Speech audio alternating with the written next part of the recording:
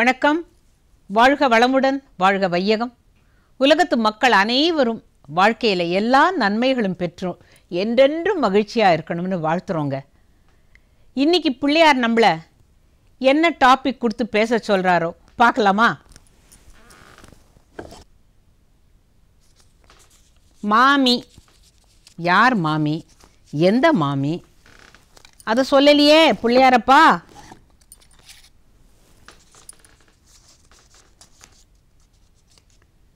My மாமி Sri. My மாமி ஸ்ரீ. அப்பவும் புரியல. எனக்கு கொஞ்சம் விளக்கமா சொல்லணும் பிள்ளையாரப்பா.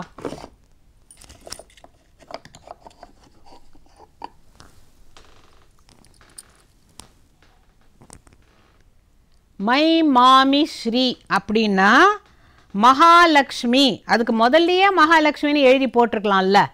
இந்த பிள்ளையாருக்கு மாமி மகாலட்சுமி அது எல்லாருக்கும் தெரிஞ்சது தான் நீங்கள் பார்த்தீங்கன்னா எல்லார்கிட்டேயும் உங்களுக்கு புத்தாண்டுக்கு என்ன மாதிரி படம் வேணுங்க? அப்படின்னு நீங்கள் கேட்டு பாருங்க. பிள்ளையாரும் மகாலட்சுமியும் இருக்கிற கேலண்டர் ரொம்ப பிடிக்கும். ஏன்?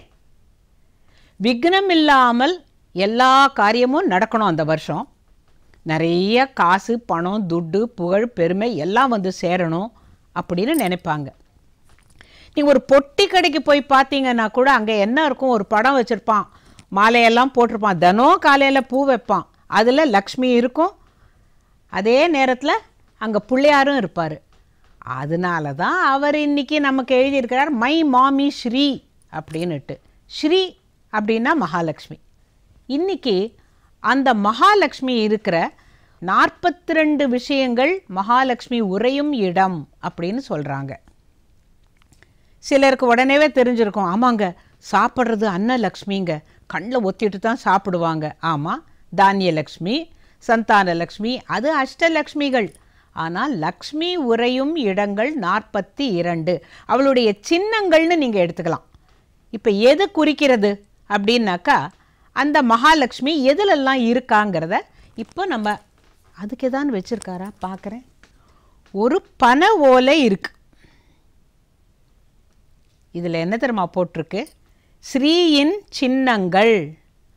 அருகோணம் ஐங்கோணம் சாமரம் சிம்ஹாசனம். ஆஹா ஸ்வஸ்திகம் ஸ்ரீ ஸ்ரீபாதம். நிறைய விஷயம் இருக்குது இதில். அப்போ நம்ம ஒன்றொன்னா போக வேண்டியது தான் ஆக மொத்தம் எதில் இருக்காங்கிறத முதல்ல ஆரம்பித்தோம் அருகோணம் ஐங்கோணம் சாமரம் சிம்ஹாசனம். அருகோணம் அப்படின்னா என்ன? இப்படி ஒரு முக்கோணம் அதையே தலைகிழா இப்படி போட்டு சாதாரணமாக வீட்டில் பூஜை அறையில் போடுவோம். ஓம் சரவண பவன்னு முருகனுக்கு எழுதியிருக்கும். ஓம் நாம சிவாயன்னு எழுதியிருக்கோம். அதுக்கும் அதே அருகோணம் தான். அந்த அருகோணத்தில் மகாலட்சுமி வசிக்கிறாள். ஒன்னாச்சா நாற்பத்தி ரெண்டில்? ரெண்டாவது ஐங்கோணம். ஐங்கோணம்ங்கிறது கை எடுக்காமல் நம்ம ஒரு ஸ்டார் போட்டோன்னா வரும். இப்படி போட்டு இப்படி போட்டு இப்படி போட்டு இப்படி போட்டு இப்படி கொண்டாந்தோன்னா ஐங்கோணம் இருக்கிற ஒரு ஒரு ஸ்டார் அதுவும் மகாலட்சுமி. அப்புறம் சாமரம். சாமரம்னா நீங்கள் எங்கே பார்த்துருக்கீங்க? ஒருவேளை பழைய திரைப்படங்களில் பார்த்துருப்பீங்க. ஒரு மகாராஜா உட்காந்துருப்பாரு ரெண்டு பக்கமும் ரெண்டு சேடிகள். வெள்ளையாக முடி இருக்கும். அது யாக் அப்படிங்கிற மிருகத்துடைய அந்த முடியை வச்சு வெள்ளி பூன் போட்டு ரெண்டு பேர் இப்படியே விசிறுவாங்க. இப்போ இப்போ என்ன பண்ணலாம்? நம்ம கோவில்களில் பார்க்கலாம். கோவில்களில் சுவாமிக்கு ஷோடச உபச்சாரம். பதினாறு வகையான உபச்சாரத்தில் அவருக்கு பாடுவது ஒரு உபச்சாரம். இந்த சாமரம் வீசுவது ஒரு உபச்சாரம். கண்ணாடி காட்டுவது ஒரு உபச்சாரம். அந்த பதினாறு வகையான உபச்சாரங்களில் இதுவும் ஒன்று வருது. சாமரம் மகாலட்சுமி இருக்கிற இருப்பிடம் அப்படிங்கிறாங்க. அப்புறம் சிம்ஹாசனம். ஒரு ராஜா உட்கார்ந்து ஆட்சி புரியறான்னா அந்த சிம்ஹாசனம் மகாலட்சுமி தான். அந்த மகாலட்சுமி இருக்கிறதுனால தான் எந்த ஒரு அரசனும் உடனே அந்த படியில் ஏறி போய் உட்காந்துட மாட்டான். அந்த முதல் படியை தொட்டு கண்ணில் ஒத்திக்கிட்டு இது மகாலட்சுமி இருக்கும் இடம் அதில் நான் உட்கார்ற வாய்ப்பு கிடைக்கிது அப்படின்னு சொல்லிட்டு அவன் நன்றி உள்ளவனாக அங்கே போய் உட்காரணும். ஆக நாலு விஷயம் ஆச்சா? அப்புறமா அருகோணம் ஐங்கோணம் சாமரம் சிம்ஹாசனம் தாமரை ஸ்ரீ ஸ்வஸ்திகம் ஸ்ரீபாதம் சங்கம் கலசம் தீபம் வெற்றிலை பாக்குடன் செவ்வந்தி பூமாவிலை கரும்பு வாழை மரம் தேங்காய் வில்வயிலை பழம் நெற்கதீர். உணவு குவியல் ஓலை கூடை துடைப்பம் நகை முத்துக்கள். நகையணிந்த பெண் பருத்த மனிதன் கண்ணாடி சமையல் பாத்திரம். அடுப்பு ஆறு ஏரி குளம். பசுவின் குளம்படி தேன் கூடு. மீன் சிலந்தி பல்லி நாகம் யானை பசு குதிரை பூனை மகர மீன் ஆந்தையுடன். அனைத்தும் ஸ்ரீயின் சின்னங்களாம். அனைத்தும் ஸ்ரீயின் சின்னங்களாம். அருகோணம் ஐங்கோணம் சாமரம் சிம்ஹாசனம் பார்த்தோம். அப்புறம் தாமரை.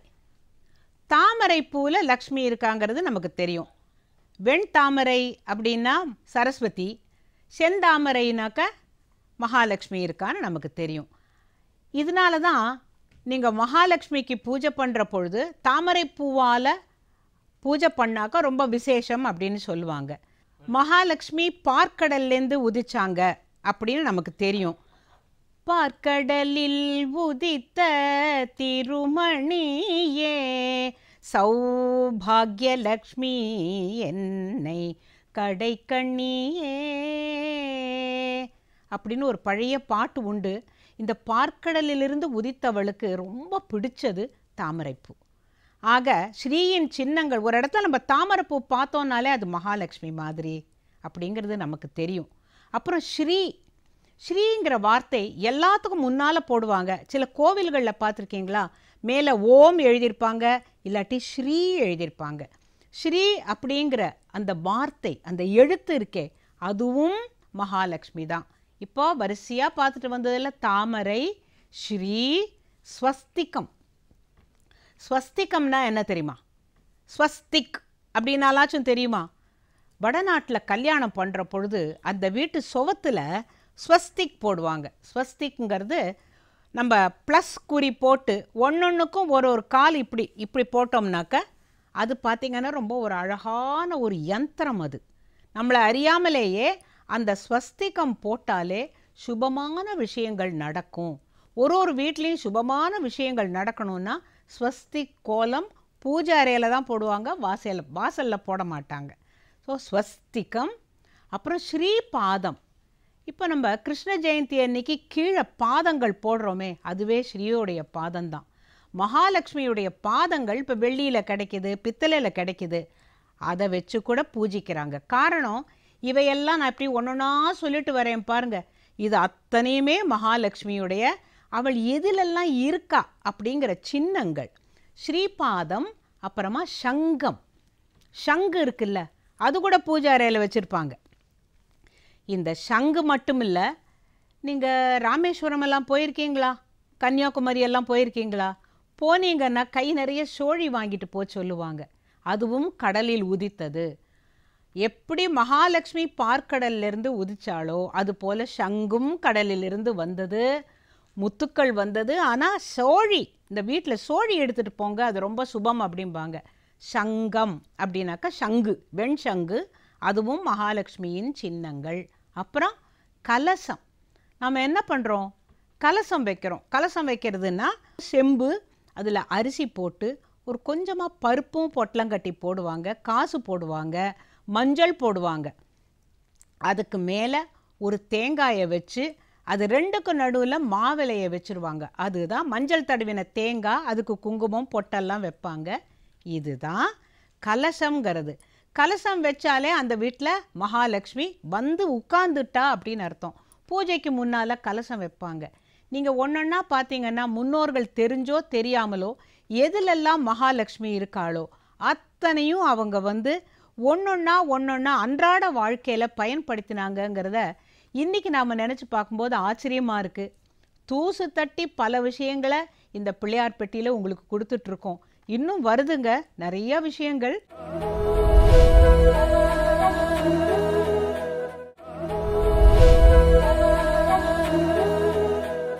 தீபத்திலையும் மகாலட்சுமி இருக்கா அப்படிங்கிறது நம்ம எல்லாருக்குமே தெரியும். தீபம் அப்படின்னா அதை ஏற்றிட்டு அப்புறம் அதை அணைக்கிற பொழுது அணைக்கிறதுங்கிற வார்த்தை சொல்ல மாட்டாங்க. பால் வச்சிடுறியா அப்படிம்பாங்க. பூ வச்சிடுறியா அப்படிம்பாங்க. ஏன்னா அவள் மகாலட்சுமிங்கிற காரணத்தினால நம்ம அதை மலையேற வைக்கிறதுன்னு சொல்லுவாங்களே அப்போ ஒரு பூவை எடுத்து அந்த பூ அந்த சுடரை அணைச்சிட்டோம்னாக்க அது அப்புறம் பரவாயில்ல அடுத்த நாள் காலம்பரை தான் நம்ம ஏற்றுறோம் இல்லையா? தினமே ஏற்றுற பொழுது பால் அல்லது பூ வைக்கிறதுன்னு சொல்லுவாங்க. ஏன்? அது மகாலட்சுமி அப்படிங்கிறதுனால அவளை அழகாக குளிர்விக்கணும் அப்படின்னு சொல்லிட்டு.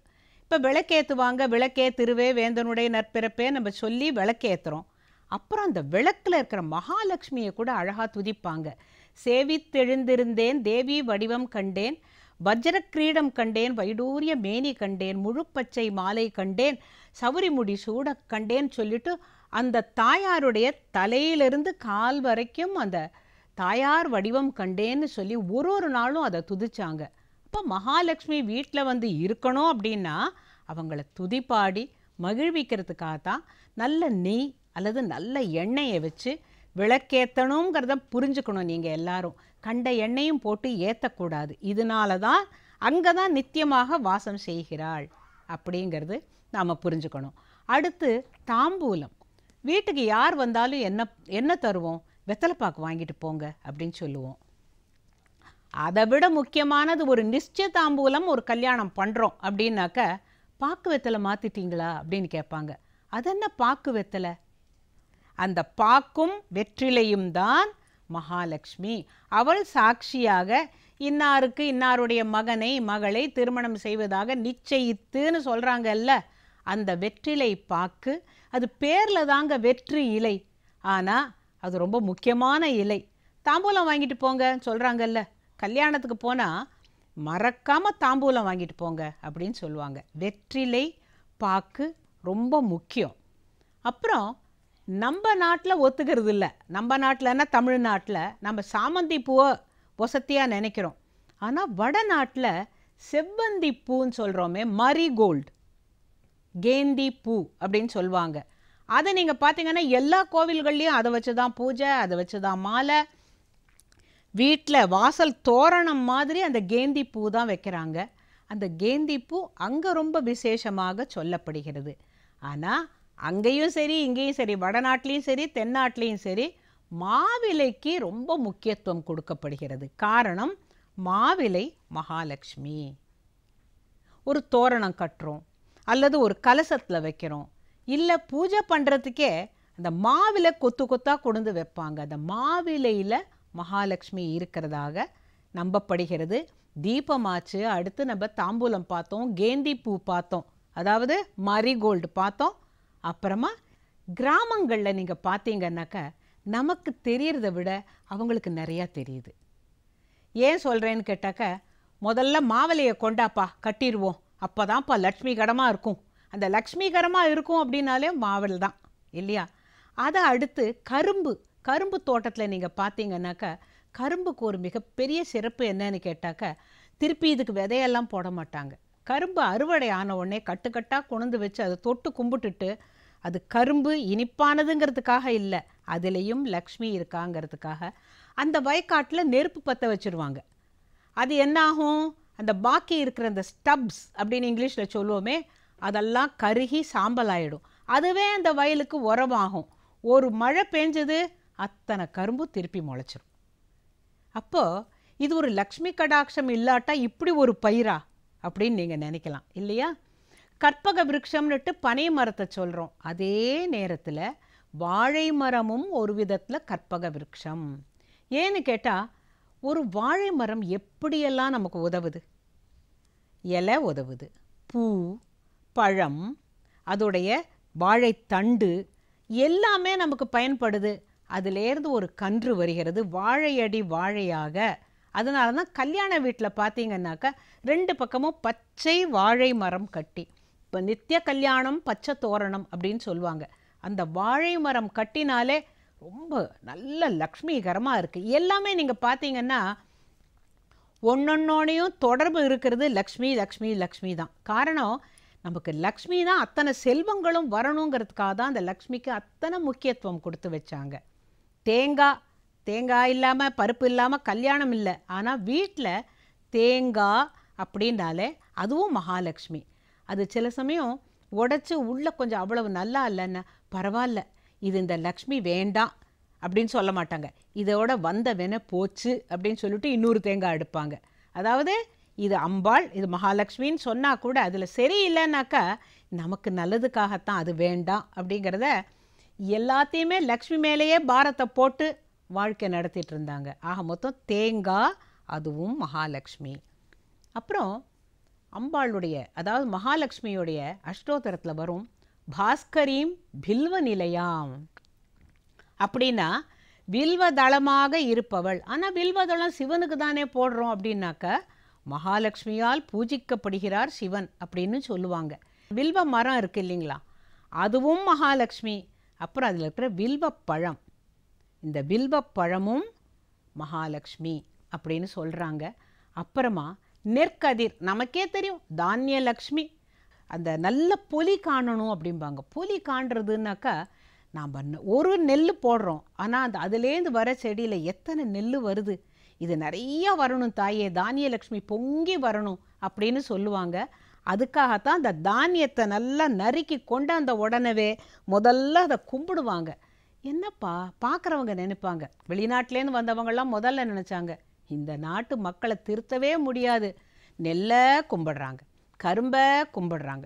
வாழை மரத்தை கும்பிடுறாங்க. மழை பெஞ்சா கூட கும்பிடுறாங்க. ஏன்னா இதெல்லாம் தான் எங்களுக்கு வாழ்வளிக்கிற தெய்வங்கள் அப்படிங்கிறத நாம் நம்பினோம். இன்றைக்கி everything has come a full circle நீங்கள் அமெரிக்காவில் போய் பார்த்தீங்கன்னா we also have started worshipping Mahalakshmi in every form அப்படிங்கிறாங்க. சந்தோஷமாக இருக்கு கேட்குறதுக்கு